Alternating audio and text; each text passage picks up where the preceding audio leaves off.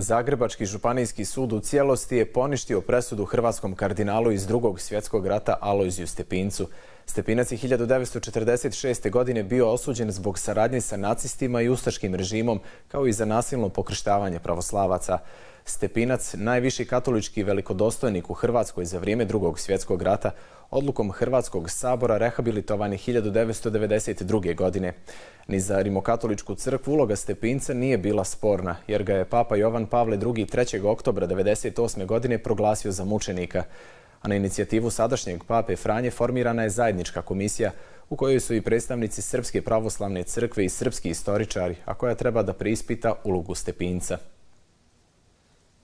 Alojzije Stepinac bitan prije svega simbolički za nas, da jeste da vidimo jedno organizovano kultuloruško poricanje zločina nad Srbima i Jevrejima i Romima u nezavisnoj državi Hrvatskoj, koje se tu ne završava, naprotiv, ono se pretvara u glorifikaciju zločina i zločinca i u demonizaciju žrtve. I to moramo gledati u takvom jednom u, u takvom jednom procesu. I ono što je suština, rekao bi šta za nas kao istoričare znači rehabilitacija jedne presude, kad o tome često odlučuju ljudi koji su po političkim utjecajima, koji u istorijskim kontekstima veoma rijetko uzimaju i obzir i tako dalje, da ta rehabilitacija u stvari neće predstavljati ništa novo.